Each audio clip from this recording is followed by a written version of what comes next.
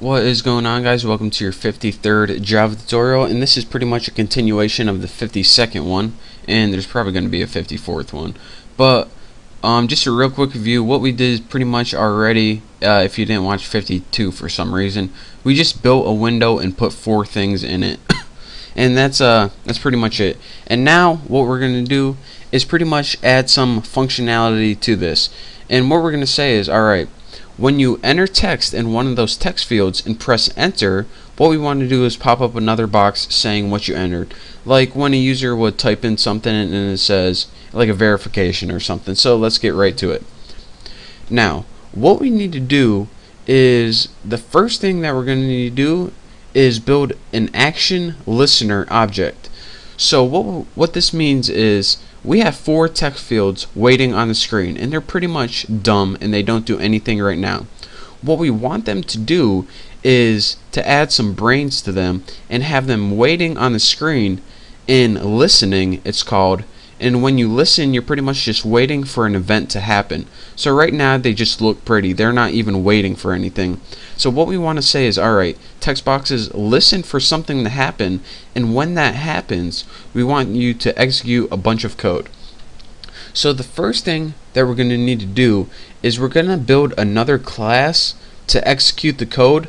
But this class I'm going to build an object for this class before I even build the class so the class name is going to be the handler and we're going to get some errors right here but that's fine. And I'm just going to name my object handler and this is going to be equals new handler class. And if you're saying alright where is this handler class? We didn't build it yet but I will we promise. So actually hold on. New the handler. There we go and what this does is it pretty much builds an action listener object so now we're gonna make a new class later on um, that you'll see what this does later. But what we need to do is add this object to each of the items. So item 1, what we need to do is add action listener. And what this takes as an argument is the object we just created. So that's why we need to do that. And the object you can see is called handler. So handler right like that and we need to do this for each object so let's go ahead and copy this copy and paste paste I'm 2 I'm 3 and of course our password which is password field right there and add add action listener and this is of course going to take the handler argument again. So now we have an object of the class the handler which we didn't make yet but that's what we're gonna do right now. So once you uh let me make sure here's JFrame here's the one class here's where one class ends or pretty much our constructor. And now here's another thing I'm gonna tell you. Um this pretty much whole thing is our constructor which is pretty much a method for um, this tuna class and you're probably thinking, alright, I'm going to build a new class, I'm going to build it on the outside of this. Well, actually, we're going to build another class, but we're going to build it inside this tuna class. And when you do that, when you build a class inside a class, the class that's inside inherits all the crap from the class that's outside. So that's what we want to do. So let's go ahead and make this private because there's no need to make it public. Class, and I hit insert, class the handler or whatever you named it right there. And now we see we get a whole bunch of other error messages. Implements p implements action listener. And I spelled let there we go implements action listener. Now what we want to do is go ahead and build a body for this. And now what we have is our class and why did we need to name it the handler? Because that's what um, the object was. And it implements action listener. And what this means is pretty much that this is going to be the class to handle the events. And you'll see why later on but I know it's confusing right now.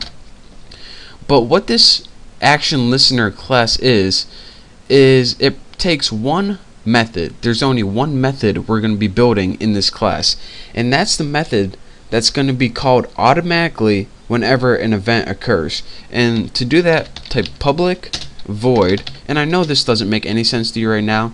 It's weird because you kind of have to build the whole program to see what's going on. But I promise by the end of this you'll see what's going on. Action and you need to name this. Performed and as a argument you need to take action event and then you need to name uh, your variable something like event like that and now as well let's go ahead and start building the body for this so what happens in this private class right here is as soon as an event occurs, whatever happens inside here is going to handle the event. So let's go ahead and type some stuff to um pretty much just add a body to our method. The first thing we're going to do is build a string variable and we're just name it string and set it equal to an empty string. And this is going to be the final string that outputs, but um you know, we don't need to worry about that now. Now the next thing we're going to want to do is make pretty much a huge if statement and you'll see why in a second.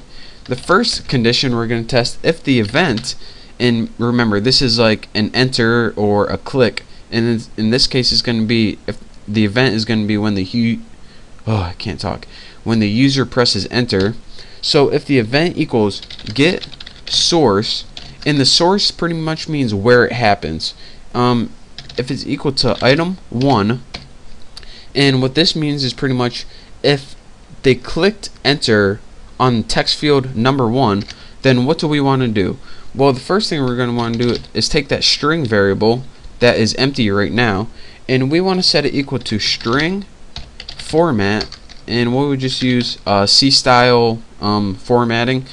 And we're going to want to set this equal to um, put something like field one uh, percent s and put those in quotation marks. So what this is going to output is field 1 with a variable right here. And as our variable what we want to do is put event and this is get action command. Now this is the last thing in this tutorial that's going to confuse you. What get action command means after I add my semicolon is get the text from that location. So if they type in Bucky in field 1 and press enter, what this is going to do is say, alright, your event source or you hit enter at item number 1. So what I'm going to do is put field 1 equals Bucky and you'll see why later on. But for now, just follow with me. The next thing we're going to do is build three else ifs. So else if and just go ahead and copy this copy this paste in event 2 field 2 and we'll get the action command for that. Now let's go ahead and just copy this one more time. Copy. And make sure my cursor's in the right spot. Oh cool. It's messing up. Cool. And paste. Uh, if event get source equals from item 3 then we just want output field 3 equals that. And now what we want to do lastly is put else if and let's go ahead and put event get source. Alright if this event occurs on what do we name it? Password field then what do you want to do? Set the string. Why are you messing up Haas? Set the string equal to string format and and let's just go ahead and do the same thing. The format is um, let's put password field is um, percent %s. And the arguments it takes is of course event get action command right there. So now let me make sure we're good to go. Don't have any errors aside from these. And what error are we getting right here? The method add action is undefined which is uh, we'll worry about that later.